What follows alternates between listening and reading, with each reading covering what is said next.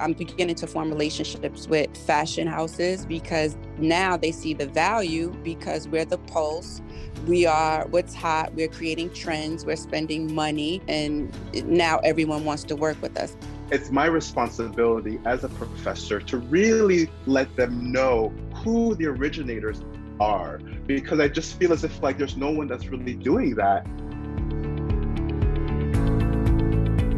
Hi, this is Imran Amed, founder and CEO of the Business of Fashion. Welcome to the BOF podcast. It's Friday, September 3rd. American stylist and fashion designer Misa Hylton rose to prominence in the 1990s for her work with hip hop and R&B legends such as Lil Kim and Mary J. Blige. She played a major role in bridging fashion and hip hop, but Hylton hasn't received her due credit for her lasting impact on fashion trends. This week on the BOF podcast, BOF columnist Jason Campbell is joined by Hylton and Nick Nelson, an adjunct professor at the New School who teaches a course on fashion styling, to discuss Hylton's life and work as well as the enduring significance of hip hop culture in fashion. Here's Misa Hylton and Nick Nelson inside fashion.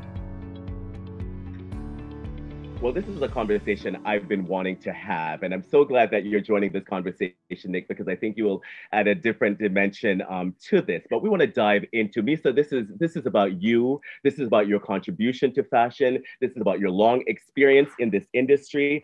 A story that's not not always known. So I would like to be a part of the telling of this story. And Misa, I was working in this industry during the time of your rise. I witnessed the delicate dance between between fashion and hip hop. And I remember, I remember when the fashion industry treated hip hop like a pariah. Yes. But as we know, that has all changed. hip hop dominates, hip hop dominates popular culture, and its yes. influence is evident and irrefutable.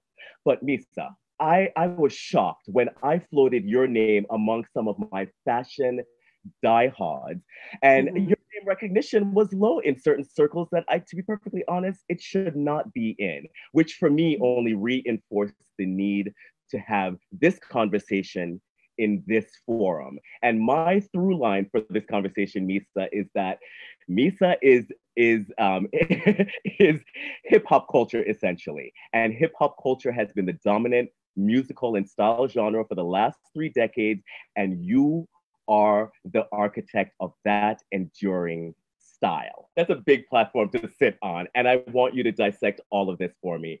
Let's start from the beginning. Oftentimes, Misa, when the story is told about um, us Black people foraying into fashion and the world of style, it doesn't necessarily speak to the incredible style that is in our community, that is in our everyday life. Tell me about those early influences mm-hmm. um, before um, arriving in the fashion world. Yeah, my early influences included my cultural background. Uh, my mother is Japanese and Jamaican West Indian, and my father is Black African American. And so um, I grew up with a lot of culture influence. Um, I grew up, you know, seeing things through a different lens than what was happening outside of my home, if that makes sense. So I had um, Japanese culture in my maternal grandmother's home. Um, I would wear kimonos around the house. I would do origami. Um, I would then go to Jamaica for the summers and, you know, be immersed in that culture. And on the weekends, I would go to my dad's house. And he lived in East Orange, New Jersey. And that's where I got some great hip hop memories and hip hop culture um, from those moments where I could be immersed in hip hop fully. My my maternal um, side of the family was a little conservative. And so I would sort of be able to let loose when I went to dad's house on the weekends. And so, um, as far as style, um, coming from a stylish family, um, I would say not so much. Um, I have one fancy aunt. We all have one. we do. We do. You know, the aunt who's going to come through with the Saks Fifth Avenue boxes on Christmas and the rabbit coats. And she was a, a air a Pan Am airline stewardess, and she was so fab. And mostly my mother and my aunts and my uncle, who were a part of my immediate environment, um, they were all into um, engineering, science, mathematics. There wasn't too much concern about style. And so here I come along, this young, creative little whippersnapper into the family. And um, I was just making my own creativity. And so the first place that I was able to express that creativity was on my body. So as early as five years old, I would be changing my clothes several times a day, getting in trouble for making laundry and a mess, but that was my creativity being born. I would change my outfits and my hairstyle based on mood, what I was watching on the television, or whatever was going on at that time in my life. And that was the first place that I got to work with image. It was on my body. And, you know, the energy would change. And I'm like, oh, time to change my clothes, you know, wardrobe change. And it was just something that was innate and inside of me and very natural. Fashion wasn't something that was discussed um, in my immediate family. And I'm not sure if they even knew that that would be a career. I mean, they most certainly wouldn't have t- taken anything like that seriously. But fate would have it where I would be at the right place at the right time where my natural gifts would be needed. And that's how I started my career in fashion by hanging out with Sean Combs, who I was dating at the time at Uptown Records under the tutelage of Andre Harrell. And so that's basically um, the short story from about five years old to 17. You're from a family of engineers and doctors and people who construct and do things. And yes. I want to sort of like, you know, sort of dovetail into your DIY, your DIY yes. construction on your physical self when you were younger. Yes. Moving yes. on from your physical exper- experimenting on your physical self and then moving on to those early days of hip hop where your creativity was sort of unleashed. Tell me mm-hmm. about how you went from experimenting on yourself to going to Little Kim or, or Jodeci for mm-hmm. that matter. Mm-hmm. Well, there actually was a step before I made it to the celebrity world, and that step was styling my friends and the people that were around me. And I would uh, make custom pieces for myself, whether I was going to Jones Beach Greek picnic, I would like custom design my own bathing suit. Um, I would also uh, create prom dresses for my friends, um, design them, and go to a local seamstress to bring them to life. Um, I would cut, design, and color hair with no license, but I was excellent at it. My my um my glam squad family, uh, the hairstylists always laugh at me because they're like, "You think you're a hairstylist?" I'm like, "I know how to do hair. I know how to do color. I know how to cut." Again, that was a place where I could, you know, practice my creativity, and I always loved hair. My fashion styling hair has always been a a, a big focal point um, in my styling. Um, but yeah, so I would style my friends and family, and I had clients, and I would do their hair and make extra money um, on the weekends as a side job. And that's how I got practice in understanding people, understanding um, their natural sense of style and how to bring that out, as well as how to um, deal with clients basically and how to see the best in people and how to bring out their assets because as soon as i look at someone i see everything great about them and that's just how i see people and how i see the world you say you see everything great about them but you also i th- you also see them in a particular in a particular wardrobe you know in the in the, in the documentary yes. i was so struck by this point where you, you know when you saw whatever musical act you said that you were styling them in your head you were envisioning what yes. these artists would be wearing why was the imaging of such important motivation for you? You know, I would have to, uh, the only credit I could give is to God blessing with this gift to you know i would hear music i would hear the sound i would hear the lyrics and the melodies and the harmony and i thought wardrobe that just inspired me to think wardrobe imaging and look something that would accompany a sound if that makes sense a fashion story to go with what i would hear or what I was hearing. It must have been quite a reveal for you to a have this impetus to want to restyle people and then you have the opportunity then you you meet the opportunity to actually image these these musical acts and celebrities and so forth it seemed like yes. it was quite a kismet was quite a kismet moment i had no idea what a fashion stylist was and that I could even become one. And so hanging out with Puff at Uptown, I was there, I was his right hand. And um, he had just went from intern to A&R and had become responsible for Jodeci's project um, from sound and putting the album together as well as their look. And so I was there and we would share ideas and I would be his backup to support a lot of the ideas that he wanted to bring to life. And um, when it was time for the first music video, Gotta Love, for Jodeci, um, I was able to assist on that project. But before we even got to um, the video, we had to convince Andre Harrell that this new look that we wanted to introduce um, we had to we had to convince him to allow us to do it. And um, at that time, R&B singers dressed up and they wore hard bottom shoes and suits mostly. And it was this thing like if you're going to be on TV or if you're going to be seen, you should be like dressed up. And we wanted to represent for the youth and youth culture and show our style, you know, and show some of the cool things that we were wearing and that we were into. Um, even though that they were singing love songs, um, we thought that it would be cool to dress them like rappers, you know, to dress them in hoodies and uh, combat boots and, and baseball caps to the back and leather. So there was a rock element in there as well. Misa, mm-hmm. I want to pause you there because I, sure. I want the audience to really understand what Misa is talking about, she is talking about streetwear.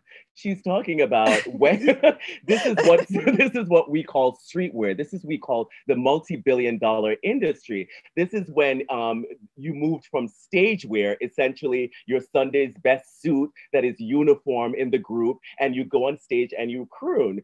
That that paradigm was changed yes. by putting them essentially in streetwear to perform on stage. And so, um, you know, after about two hours, Andre finally agreed to let us go forward with this new look. And, um, you know, the rest is history as far as that's concerned. Um, it was a hit. I was at the cusp of music changing, fashion changing, the sound of music changing, the hip hop and R&B sound was being birthed. Yeah. And so I was right there. And uh, my natural talents and style aesthetic and boldness and courage to, you know, really believe in what I was creating it worked for me and and it stood out and it was something different and it was um it was fresh and it was youthful and it was current and it was trend setting yeah, it, it, was it was really a magical moment in hindsight because wow. I had no idea what was happening. I was just in the moment, totally immersed in it. I want you to take us back to the moment when fashion was just starting to embrace hip hop and and and and more about your role in that. And I want to sort of dive into Little Kim because in my in my recall, um, Little Kim was such a integral um, part of the visibility. So I want to mm-hmm. understand. Mm-hmm where did Kim meet um, and how far you pushed the envelope with her, how much of the ideas was hers, how much was yours, and how did her small size sort of advance that creative collaboration? Because, you know, with, with challenges like that, I would think that, you know, some ingenuity would come about. And was Little Kim really the beginning of the forging of that true relationship with hip hop and fashion houses? I would have to say, backtrack a bit to the Queen, Miss Mary J. Blige. And she set the tone. Although she was a singer, she loved hip hop. We both loved hip hop. Um, and when we met, Andre wanted to introduce us. She, he he thought that we would be a good fit and that we could work well together because we were both from Westchester, and Westchester is its own little bubble. It's like you know, so close to the Bronx, so close to Harlem, but at the same time, it's the suburbs. So you get like the best of both worlds. You get urban and suburban. And so we understood each other completely. Um, and she loved hip hop. And although she was a singer, it was sort of the same thing. She wasn't about to put on a gown. You know, she wasn't um, going to have the same style as Whitney Houston or Mariah Carey or go in that direction. She wanted to be true to who she was. And um, I, I noticed that immediately. And so we incorporated a lot of hip hop style into her styling work. And, you know, she came out, her first album was a smash her style er, you know so many young girls related to it in the inner city and in the hoods and it was really powerful because of that because we were now able to see ourselves and see our style in the forefront on TV. And so those images and those moments reached artists like Little Kim, you know, who at that time she probably had not thought about becoming an artist yet you know, but she was influenced by Mary J. Blige and empowered by Mary J. Blige's style. So um, by the time um, we had all reached a level of success, um, I had now gone from working under the Uptown umbrella to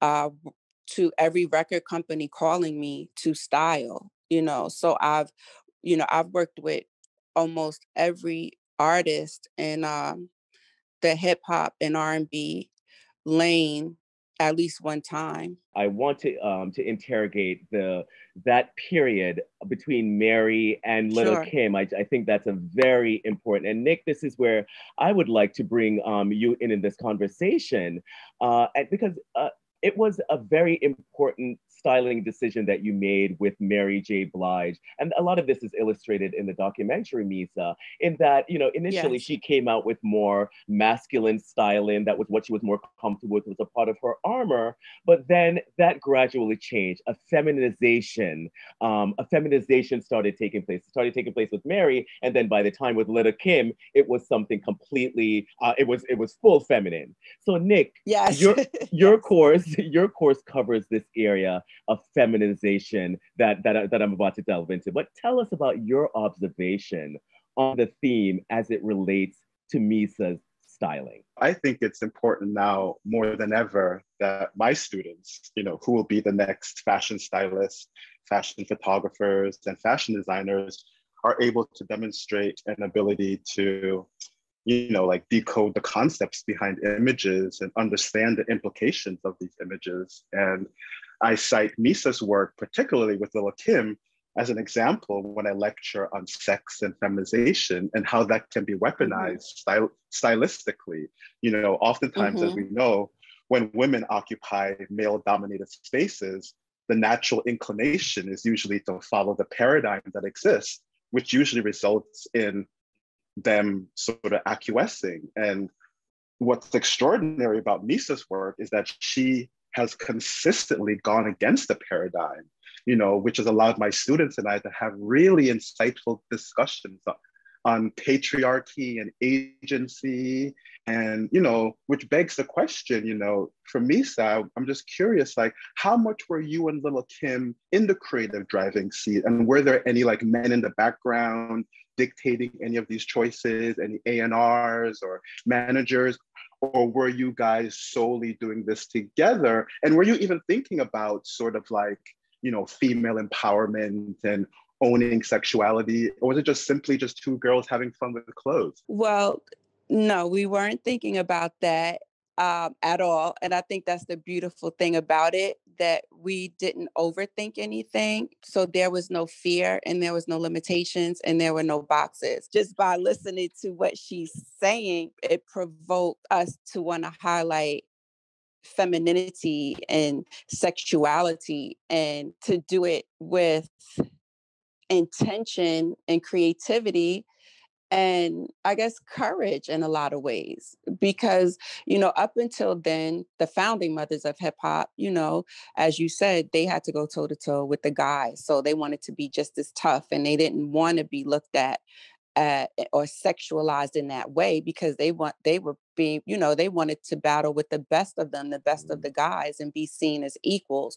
And so, because they laid that foundation um, and solidified that, female rappers were indeed talented, powerful, valuable, and a huge part of, you know, the hip hop culture. Kim was then able to stand on their foundation and open up a different lane. And as women, we should be able to express ourselves in any way that we want to, you know, whether it is tomboy or tomboy chic, or if it is celebrating sexuality, which is a form of power. And so she, that was a moment where we were able to do that. What were the barriers, or did you have any barriers uh, that you faced as a Black stylist with a a new cadre of talent um, at that time. Where did you have any issues in infiltrating the business and getting clothes and and um, collaborating? You did. Break that down Absolutely. When I started working with Mary, it was virtually impossible to pull clothes or to forge relationships with fashion houses because they didn't see any value with working with us. Um, we were young black talent. Um, and women. And so um, it, it was virtually impossible to to get through to them and to create relationships. But I always say where there's an obstacle, there's an opportunity. And that was when I put on my designer cap, cap and began to design custom looks for my clients, which included Kim. I mean, which included Kim later on down the line. But okay, so that's from Mary. And now when we fast forward to Kim, by that time, I'm established as a fashion stylist. I'm beginning to form relationships with uh, fashion houses because now they see the value because we're the pulse. We are what's hot. We're creating trends. We're spending money and now everyone wants to work with us. Now we are a, we are being invited to Milan, to the Versace show, Fashion Week. Forget about it. We're front row. Um, invited to all of the luxury fashion house events, whether it was fashion shows or, or private parties. I think that's important as well to to outline, Misa, to state that in fact the industry did not they did not usher in they did not fully usher in um, you know this whole new cadre of, um, of talent. And in fact, let's be honest, fashion was really looking at the hip hop movement with their noses in the ear. It wasn't style that was particularly credited. It was um, in your face. It was, you know, logo driven. It was really yes. sort of brassy and brash. And from the fashion, the sort of core fashion side, that wasn't really, that was not really embraced. However, what did you think when brands like Chanel, Tommy Hilfiger, and others started to appropriate the hip hop styles in their own design. And remember, that came in quick succession. That didn't take years yes. to materialize. They were like, oh, all of a sudden Chanel is like, you know, there's gold is flinging everywhere, not in their traditional right. way, but in a, in a very hip hop style. In fact, when I saw some of those images, Mies, I gotta say, I cringed a little bit. I cringed at the yeah. cultural really cultural appropriation, if you if you want to call yes. it that. What did you think about that? And were you did they engage you to consult on those collections, those hip hop collections? No, I I mean I one word can sum it up what I was thinking. Wow.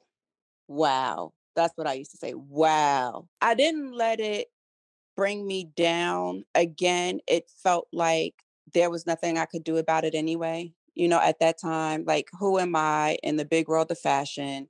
And what, you know, what am I going to do? Go to Chanel and, and to the creative director and complain? You know what I mean? There's no recourse. Our fashion um, aesthetic was just, you know, was being appropriated. But we continue to do what we do and to push forward. Um, and there were some cases where they would engage us. Like I said, they would invite us to the shows. And sometimes I would see the outfits that we had on in the next year's collection, whether it was colorways or specific styles or the way that we put things together or or any of the custom pieces that I was creating. I would see something similar later on. But again, it just didn't feel like it was anything that we could do about it. Um, and so we just continue to press on and continue to do what we do. I know I was not um, ever asked until recently to come into any luxury fashion house and create or any photo shoot that was in a high end fashion magazine. No, I wasn't invited to style it, but our style was being emulated. Even so much so that sometimes my clients would have these opportunities, but they wouldn't be allowed to bring their stylist who created this fashion um, and created their look that they love so much. And then they would have a white stylist come in and pretty much emulate what we were doing. And the best case scenarios, I would be able to be an a consultant on set if my clients really fought for me. Oh wow. Nick, we're in a very different time. You know, we're we we ask for everyone to be vocal. We ask for people to stand for something. That comes with the territory as fashion professionals now. But are your students aware of this kind of history, for example, that Misa endured as it relates to having access and so forth, and cultural appropriation? Yeah. They they yeah. are aware that that this history was lived. Yeah, absolutely. And I think one of my lectures that I do in Inside Fashion Styling is dig, to give examples of cultural appropriation versus cultural appreciation, and also giving them a blueprint of where these things come from. You know, I remember years ago when I had assist when I was working on jobs, and I remember my assistants were just, you know, so enamored with Lady Gaga and like her thinking that it was so genius. And I would say, oh, well, do you guys know about Grace Jones and Leigh Bowery? Mm. you know, people like mm-hmm. Nina Hagen and Labelle. Mm-hmm. And they didn't mm-hmm. know about these people, you know. And so this was a huge impetus for me to do my course. I mean, I do a lecture on the cultural significance of Grace Jones. And I'm always baffled that here I am at a prestigious art school and no one knows who Grace Jones is, you know. So I think whether it's Grace Jones, whether it's bringing in Misa, it's my responsibility as a professor to really let them know who the originators are because i just feel as if like there's no one that's really doing that and their eyes just like light up because they don't know about grace and leigh bowery and, and what misa did. I mean even just watching the remix i was blown away about the whole jodeci thing you know what i mean? And how that changed from like the sort of like the temptations and you know black sort of R&B singer is supposed to be so presentable and so proper and to see that to know the history behind that. I mean i'm even learning. So i think this is incredibly important for this new young generation of creators to actually know that it didn't start with the lady gagas of the world. Let's just take that in and reflect on what has transpired in the last 40 years in hip hop and r&b influence on global style consumption. You know, I want to be very yes. clear here that we're not just talking about, oh my God, there was some cool little situation that was put out. We're talking about consumption. Artists are the ultimate fashion influencers, and your blueprint is all over today's style do you observe culture? Do you observe the culture and think of the billions in purchases that you've had a hand in influences? And, and and truly though, and let's talk about some of those enduring. Let's talk about those enduring trends. Let's talk about logos for the masses. Just to be clear, I want to make sure this is underscore what we're speaking about here. What the, where the influences are. Logos for the masses. Streetwear as luxury monochromatic looks and colored hair, chunky gold jewelry accessories, and all of all of those kind of things that, you know, it's very much a natural part of our styling world. But at one time, it simply was not. And it required change makers like yourself to um, to enact those change. So this is this is a really important point of reflection. Now, where do you sit with the luxury brands that did not market to our community during this period, um, Misa? And and and when did that change? Do you think? I see the most recent changes. I would say in the last five years, maybe. Like you know, not it, it hasn't been that long. It really hasn't.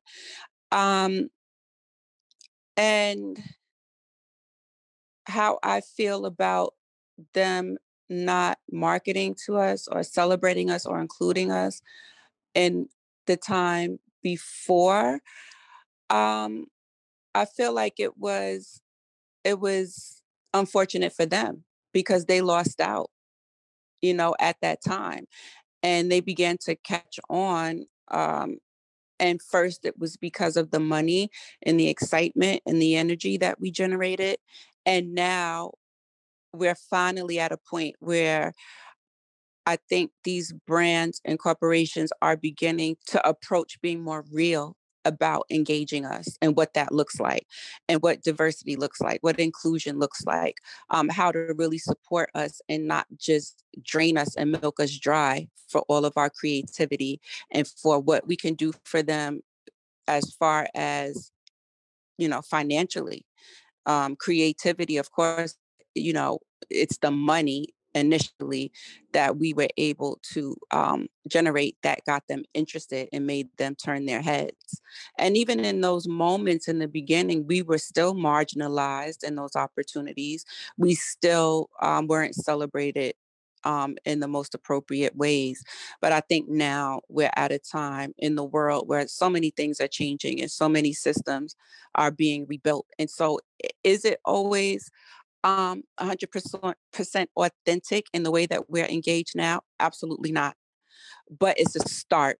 And there are some brands like MCM who are authentic um, in celebrating um, hip hop culture in particular and highlighting people like myself. They actually funded the remix film. I want to speak uh, about MCM, and this is a great time to do so. And MCM Misa is your current, um, it's your current gig list. You're the co- global creative partner um, at MCM. I believe you've been there for five years. And yes. I want to, but I want to go back. I want to go okay. back. You know, because um, I think MCM is sort of one of these brands that is not fully, fully understood. And I, I know for sure it's not really understood how important this brand is for our culture. I'm going to take you back to the 80s when MCM stood mm-hmm. for making cash money. Money. M- okay. MCM was the label of money. You wear MCM yes. accessories with Lotto shoes. It was yes. all about the money. So I want to make it very clear to the audience out there. So for the Black community, MCM, I know that there are other logo driven companies, LVMH and other mm-hmm. and and so forth out there, but L, L, um, MCM holds a very, very, very, very special place. And I love how the acronym, you know, was was yes. um was um you know um, morphed to suit our yes. community. So right. tell me about, you know, MCM, certainly give us a little bit of history on that and also your current work with them. And also mm-hmm. you were diving into how MCM, the brand, served the Black community. I, I would like to know how they serve the Black community, considering that they have such a long history in it and have changed hands from German ownership to Korean ownership and so forth. So let's let's break down. Let's break that down.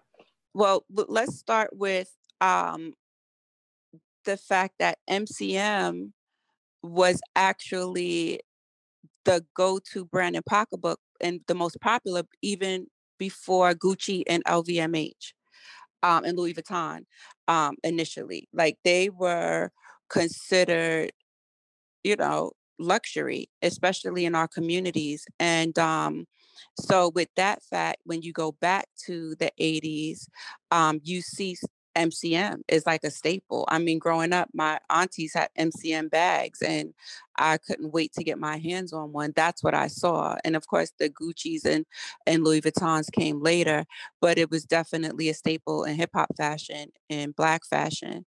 And so to fast forward to now, um, and, and I agree with you, MCM isn't always understood. Um, they're very boutique, but the heritage is unbelievable. Their desire to be in tune and in alignment with um, fashion that's outside of the box, um, not having a desire to um, be inauthentic to who they are, even though it may you know take them into a different level where people may know them a bit more they stay true to their roots and what they believe in under the leadership of miss kim who's an amazing she's the owner now and she's amazing powerhouse of a woman and she's a woman of color being a, a korean woman and we connected um you know on an asian level as well as um an empowered woman level. And um, you know, it, and as far as what they do to support um, Black creators, I mean, just look at the film.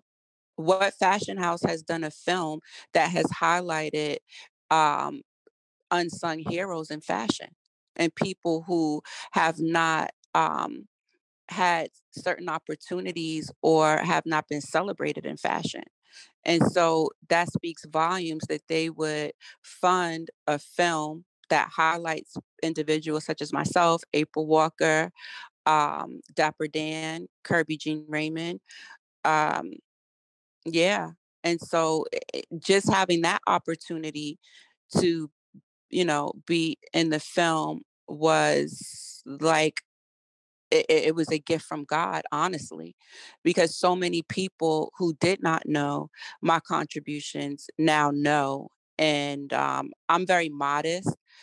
And so I'm not one to go out and say, oh, I started that or oh, that trend, I did that in the 90s, or, you know, I I created this, or, you know, the, the clients and, and the artists that I work with, we were doing those styles that and we were doing streetwear. I'm not gonna go out with a bullhorn um and, and probably should.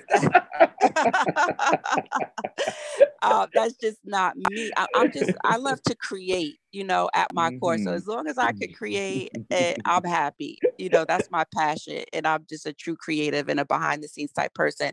And so also being a part of that film was very different for me to share my story in front of the camera because I'm always behind the camera working for the person in front of the camera and so sharing my story was it was empowering you know it, it was a, a wonderful opportunity to share my story um, and, what I had done to contribute to um, the, to fashion and to the culture. And so many opportunities came forth from that moment. And so, you know, that was all made possible through the MCM opportunity. And uh, once we, I, I met uh, uh, Rita at um, MCM. She was a VP there at the time. Um, she immediately said, welcomed me into the MCM Fashion House on a creative level. So not only were they documenting my work, but they gave me an opportunity to create for the fashion house. And I'll never forget the first day she invited me up and I had a meeting with um, uh, the creative director at the time, and they opened up the archives for me to create whatever I wanted for them. And the first opportunity that I had to create for them was an event they had for their collaboration with Puma. It was an MCM Puma collab. And I created custom looks for Rapsody, 9th Wonder, Big and Big Daddy Kane. And the rest was history. And I always knew if I could ever get my foot in that door, that's all I would need that they would love me and I would be there to stay. And so MCM's very close to my heart for that opportunity to not only, you know, to, to share my story, but also to create, which is what I love best. And I have to say, you have created some um, some iconic moments in this age from beyond in MCM clothing and accessories. That is, you know, from Beyonce's yes. Shit video to Meg The Stallion to Missy Elliott to the City Girls and so forth. Like you're really seeing some very iconic um, images of MCM in this era on Black talents. So that's yes. really wonderful. Tell me about your styling academy. You've also opened uh, an academy here in New York um, over the last few years. What What's your intention with that? Yeah, so I founded the Misa Hylton Fashion Academy, also known as MHFA, in 2012. So next year will be our 10th year. And I decided that I wanted to you know educate the next generation of fashion creatives and it started as a fashion styling program because i saw a need for people who look like me to be educated mentored and um, provided a safe space to create and to be authentic and to be free um, and to understand their gifts better. Um, personal development is a big part of the educational process at the academy. And, you know, it was imperative that I gave back in that way. I had achieved so much success and I saw that there were many creatives who would either not get opportunities or they would get opportunities and not know how to um, leverage them and not know how to scale once they got their foot in the door and um and remember there was a influx of fashion stylists i believe like in the early 2000s it was like everybody was a stylist all of a sudden. It was like oh i can put a cute outfit together at the mall i'm a stylist. Or there would be artists even that would have a stylish cousin and now the cousins are st- they're stylists you know what i mean? But they didn't have any mm-hmm. understand and there's nothing wrong with that. That's opportunity and we should put each other on but you have to understand the business of fashion styling and and of fashion and the culture of it um, and then you need to be mentored. As a person of color it's not easy to be in these spaces. It's not easy when the challenges come up and um, the disparity wreaks its ugly head. How do you handle these situations and these moments and continue to excel and to continue to work in excellence and stay motivated and focused on your goals? Um, so yeah, for me, education is imperative as well as um, mentorship and having people who support you, who believe in you, and who are going to help you get to that next level. And personal development is key. We can't, eh, you know, self awareness, personal development, um, choosing to become a better person and to develop yourself into who you want to be is also something that is key in success. And finally, what do you think about all of these youngins who are literally discovering all of your contribution to this industry and like and embracing it and rehashing it and so forth? What, do, what do you think about that? I think it's awesome. I think it's wonderful. Um, when I see um, reinterpretations of my work or my work emulated, I'm always you know, excited and thrilled about it. I welcome it. I think it's amazing. Who knew that a little girl from Mount Vernon could have such an impact? On fashion. You know what I mean? I'm not trained at Parsons. I have no formal fashion education. I have hands on experience and grit and blood, sweat, and tears and an entrepreneurial spirit in mind. And that's what got me to where I am today. So um, just knowing the road that I took, the road less traveled in, in, in many cases, and having to sort of create this lane that didn't exist. And there were so many, you know, challenges and trials and tribulations, as well as happy, exciting, iconic moments in that journey. And so when I see that um, it makes me happy to know that that is something that I created that has so much power and effect on people that they would choose to want to gravitate towards it. That is absolutely wonderful. Misa, on that note, I am so grateful for your time today. It's just really, really illuminating. I, I learned from this exchange. Nick, thank you so much for joining us today and for your insights on this subject. And Misa, I'm, I'm no doubt you'll be having more conversations about your contribution because they are enduring and lasting. And um, I hope credit will continue to go your way. So thank you so thank much again. You. I greatly appreciate it. Nick, thank you. And thank, thank you. you, Nick, for including me in your educational history of Black creatives. Thank you so much. If you enjoyed this episode, don't forget to subscribe to the BOF podcast for our look inside fashion and how it connects to currents in the wider world. If you're not yet a BOF professional member, join today with our 30 day risk free trial and benefit from exclusive access to agenda setting analysis you won't find anywhere else. The BOF podcast is edited and produced by Emma Clark, Kate Vartan, and Kevin Bobby Blanco in the BOF studio team.